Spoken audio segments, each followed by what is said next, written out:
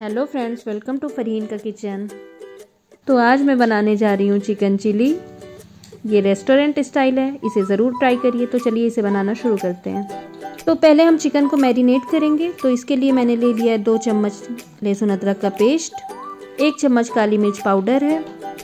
नमक डाल देंगे स्वादानुसार और डाल देंगे दो चम्मच विनेगर इसको मिक्स कर दें और इसमें हम डाल देंगे एक अंडा।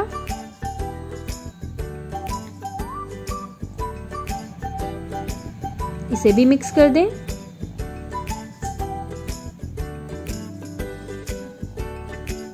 फिर हम इसमें डालेंगे तीन चम्मच कॉर्नफ्लोर या अरारोट और दो चम्मच मैदा।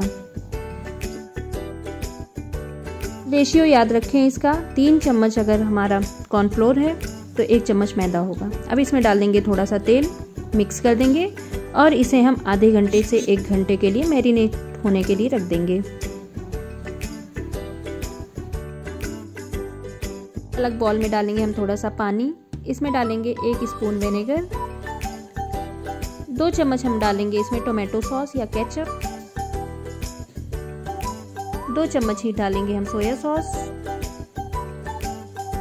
और डाल देंगे दो चम्मच चिली सॉस इन सभी को मिक्स कर लें।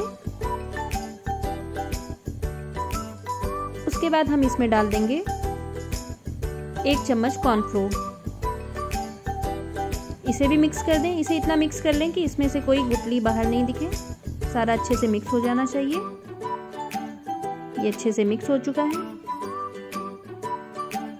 फिर मैंने लिया था छः से सात लहसुन। आधा इंच अदरक है। आधा शिमला मिर्च है। इसे इस तरह से मोटा काटना है। प्याज है। प्याज को भी ऐसे काट के एक एक पार्ट अलग निकाल लें। ये प्याज के पत्ते हैं। हरा पार्ट मैंने अलग कर लिया, सफ़ेद पार्ट अलग कर लिया है और मिर्ची हैं। हरी मिर्च एक या दो ले लें। अब देखिए, चिकन आधे घंटे बाद पूरी तरह से मैरिनेट हो चुका है। तो अब हम तेल को गरम कर लेंगे और उसमें डाल देंगे चिकन को और इसे हमें फ्राई करना है। जब एक तरफ़ से पूरा सेट हो जाए, तभी चिकन को पलटें।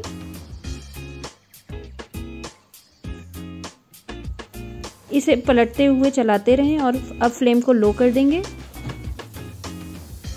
और धीरे धीरे हमें कम फ्लेम में इसको भून के रेड कर लेना है। दूसरा बैच भी मैंने डाल दिया है, इसको भी इसी तरह लाल करके निकाल लें। अब मैंने एक चम्मच तेल लिया है, इसे बहुत ज़्यादा गर्म हो जाने देंगे, इतना कि इसमें से धुआँ निकल जाए।